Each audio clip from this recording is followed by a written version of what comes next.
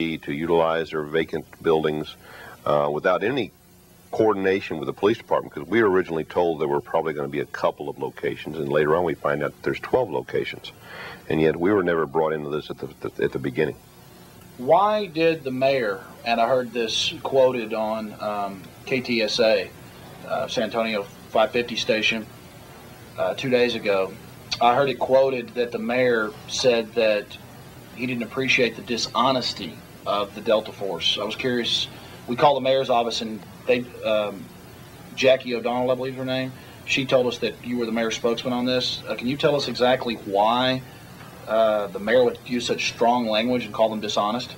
Well, I think that there were various approaches. For example, when I, I originally said no several weeks ago, matter of fact, a couple of months ago, but no was never no.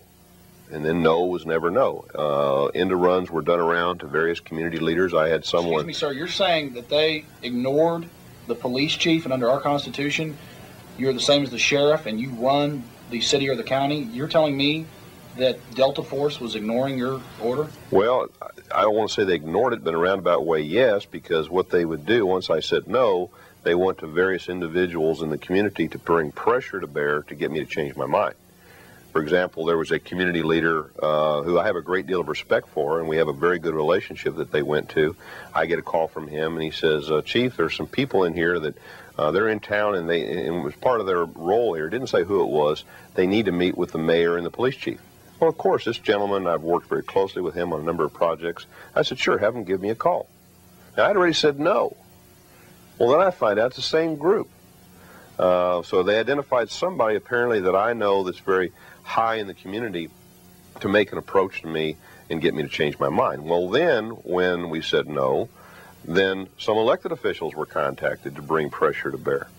Uh, and then uh, offers were made to give money, cash money, to elected officials' charities if they could get us to change our minds. I mean, uh, you know, as one of my deputy chiefs said, in some circles that's called bribery.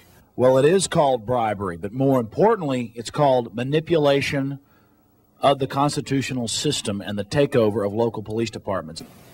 You talked about a memo from Delta Force? Yeah, because what happened is various elected officials were being contacted. Uh, I have 10 city council members and a mayor, and I just wanted to alert them as to what was happening. Uh, that, that these, these, these situations were, were, were occurring, uh, that they might be contacted by these individuals, and that, that in the best interest of public safety, and that's what I continue to fall back on, we didn't feel that it was in the best interest of the citizens of San Antonio to do that type of thing. Uh, all I can say is that, uh, you know, no just never seemed to be no. And even after they told us, we don't need you, we're still going to do our training exercise at other locations uh, in and around the San Antonio area, but we're allowed to do them here. Next I'm still getting contacted by various officials. I mean, they never would say take no for an answer. So they weren't respecting your jurisdiction. They were not respecting our jurisdiction.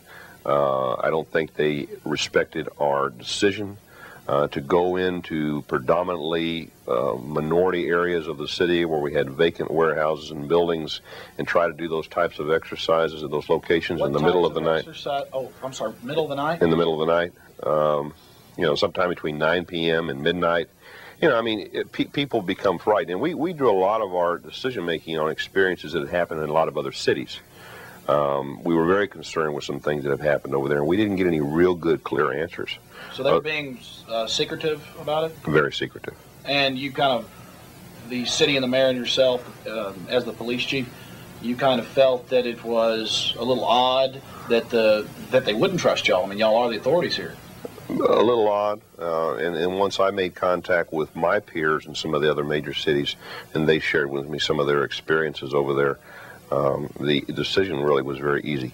My interest as police chief is the citizens of the city. Yes, sir. Period. period. And, and I was good. not about to jeopardize the safety uh, under, under an exercise of this magnitude under any circumstance. Well, you can't say it any better than that. This isn't some wild conspiracy theorist. This is Al Philippus, head police chief in San Antonio, Texas. Oh, and the mayor, too, Howard Peak.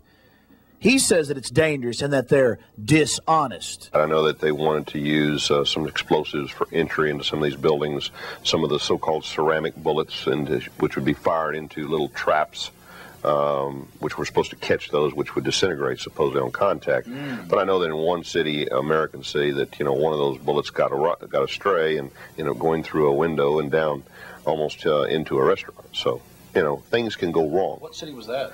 I believe that it was in Miami. That's incredible.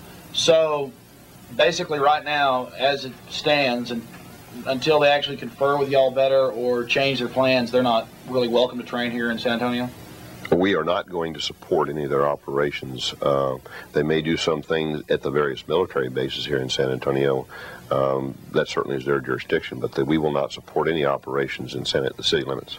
We really count on law enforcement officials locally like y'all to protect the people and uphold the law. And again, I just want to commend you for recognizing some of the behavior of the Delta Force and uh, expelling them.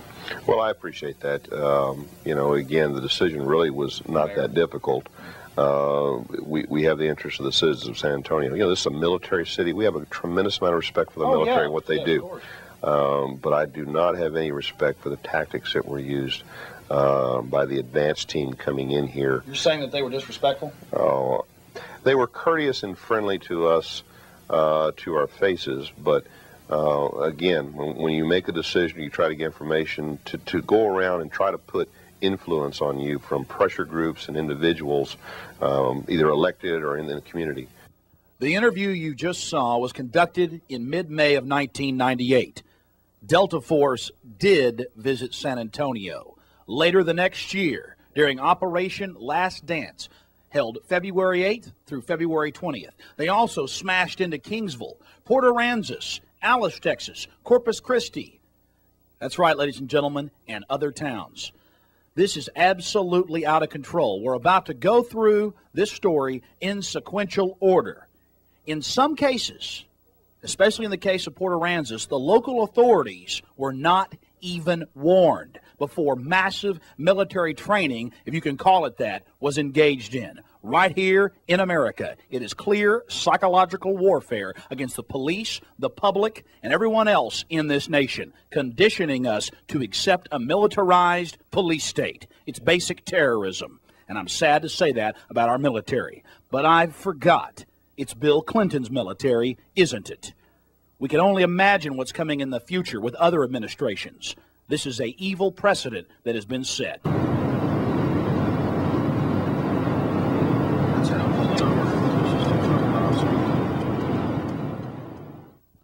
On the night of February 8th, 1999, right after my radio show, I got the word the Delta Force had smashed into the first of six towns, Kingsville, Texas. We got in the car, drove through the night to the South Texas coast right in the middle of Texas oil country. It was incredibly surreal. Shades of Blade Runner.